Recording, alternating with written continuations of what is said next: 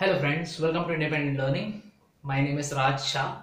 Okay, in this video we are going to see the applications of trigonometry. Okay, why are we using this? So when we started with the syllabus of ninth, okay, we discussed uh, how to uh, we we can calculate the height of the building using trigonometry. We saw some examples. Okay, based on what trigonometry is, how do we use it? Okay so in this video, we are actually going to learn how to calculate the height of the building. Okay, any building, if you want to calculate the height of it, we'll be able to do it using trigonometry. So we'll be seeing how to calculate it and also this famous uh, to find height of Mount, Mount Everest, which India did in 1952.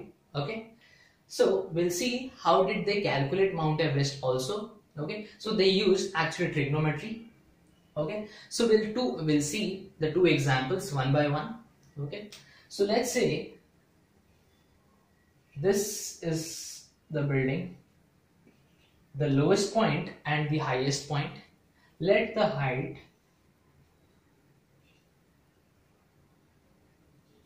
let the height be h. Okay? Now let's say i am standing over here Raj, okay, R for Raj. Raj is standing over here. Okay, so I'm standing at some particular distance, let's say D. Okay, so this distance is already it, it is known. I can measure the distance between where I'm standing and here using a, a measuring instrument.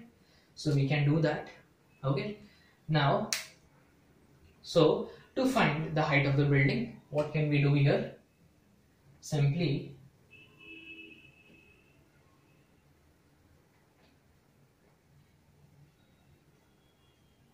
so you draw hypotenuse okay? So this is hypotenuse why? Because you know that the height to find distance between a point and the base it's always a perpendicular line which is drawn okay? So to find this okay? This actually this line building will always be perpendicular to the base okay as you know. Now let's say this angle is i okay. Now what is this i? We can calculate this angle. Like let's say i'm standing here right? I'm looking at the top of the building like this correct? At an inclination. So this is called angle of inclination. What is i called angle of inclination. Okay? Angle of inclination is called I. Meaning if I'm looking from one point if I'm looking higher at a point then it is called angle of inclination. Or if I'm looking downwards here if I'm looking from this point okay? From this point if I'm looking downwards with some angle it is called angle of depression which is going downwards. So angle with where I'm looking straight okay and with respect to that the angle with which I'm looking downwards. So this angle which is there is called D which is angle of depression. So you'll be learning more on angle of inclination and depression in higher in your higher standards okay. Now let's concentrate on this.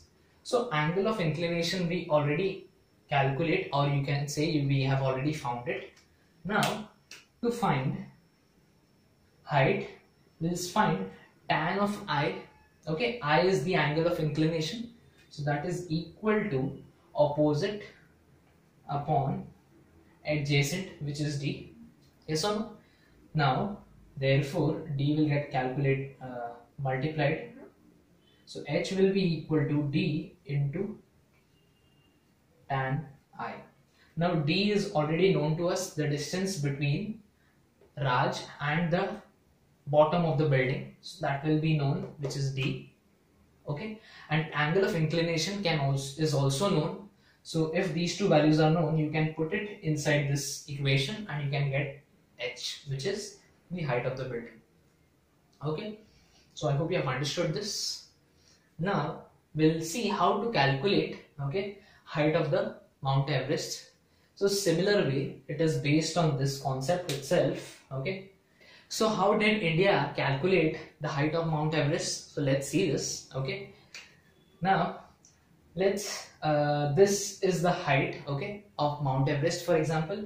This it has okay it has other things also about but we are taking a perpendicular distance okay from the bottom from top to bottom okay? We are looking at a perpendicular distance okay? Because the mountain will be like this. It will be the surface will be uneven. But we will consider a topmost point okay? Topmost point and the lowest most point. And we'll draw a line HL like this. So this will be drawn. So we have considered that line over here and we'll be calculating this distance. Okay? So let's see how it is done. Okay? Or rather how did India calculate this height? Okay? So let's take a point. So we are standing so there is Mount Everest okay? At the side this side and we are standing or any person is standing over here at this point away from Mount Everest. This is the height of the Mount Everest.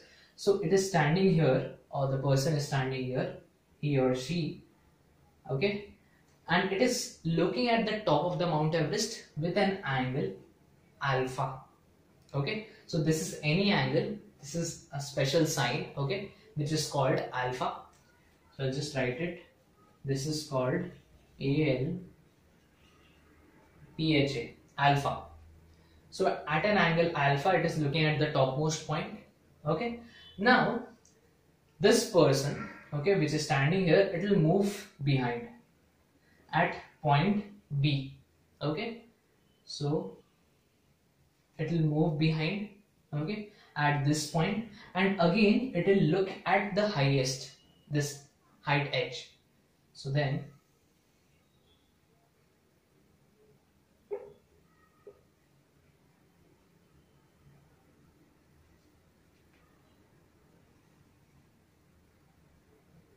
so this is how it will this uh, person will look at the top of the height. So this let this angle be beta. The angle with which it is looking at the topmost uh, height of the Everest. Now the angle. So these two are both angle of inclination and angle of inclination both. Okay because both are upwards. So this is at point A alpha is at point A and beta is at point B. Okay so we have to find H. Now let's say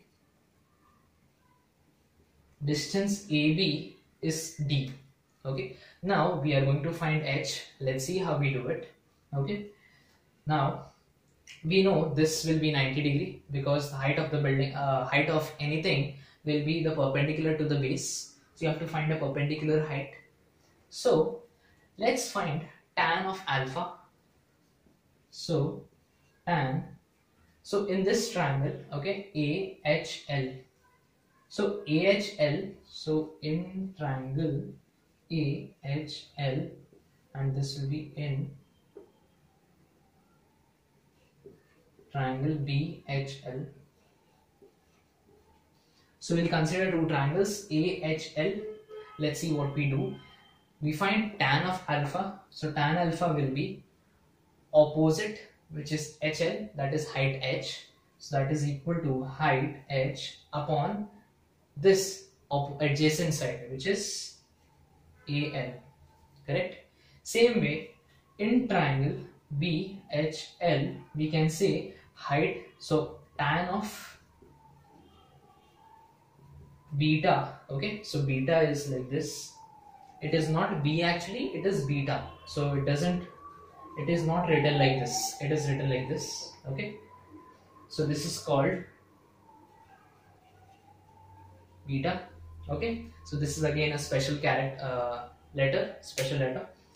Now to find tan of beta in triangle BHL okay this triangle the opposite side is HL so we'll say HL upon adjacent side will be BL So BL. Correct?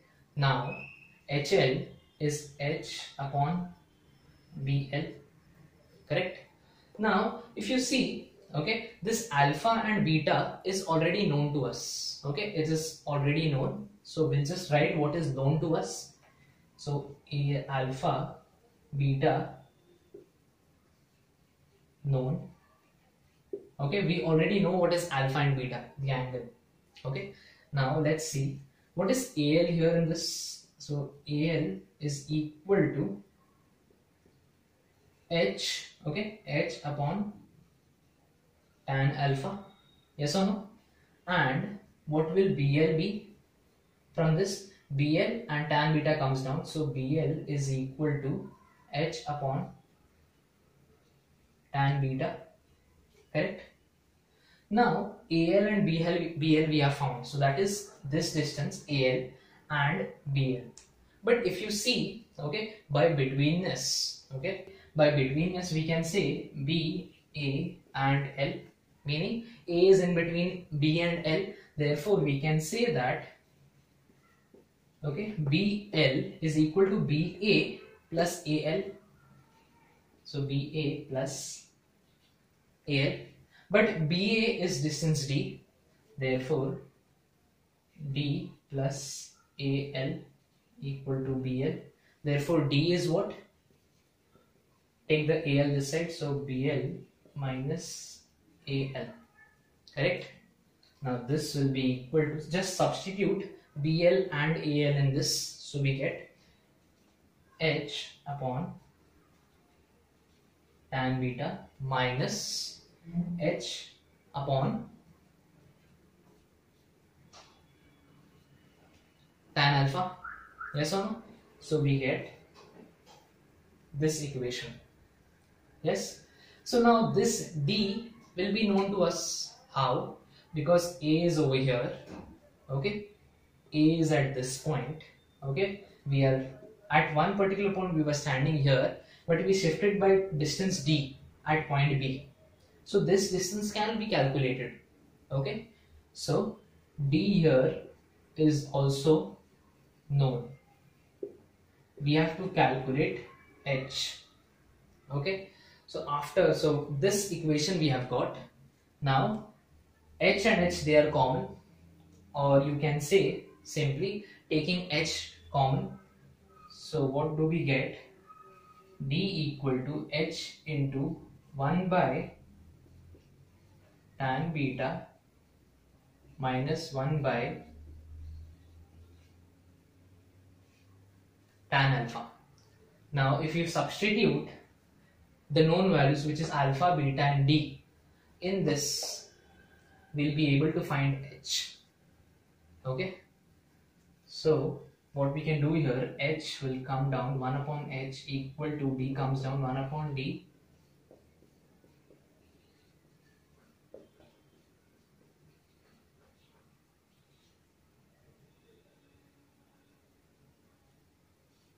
Okay?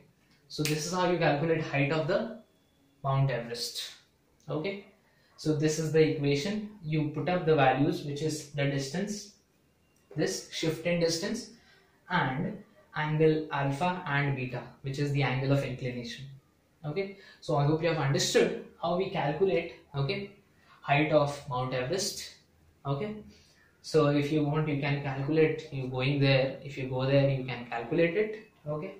So i hope you have understood this okay? So this was some examples. Okay? We do we saw two applications. Okay? How to calculate height of the building and how to calculate this famous example done by india which is how to calculate height of mount everest. Okay? So i hope you have understood this. Okay? Make sure if you have understood make sure that you share it with your friends. Okay? And let everyone know how we calculate mount everest. Okay? Thank you for watching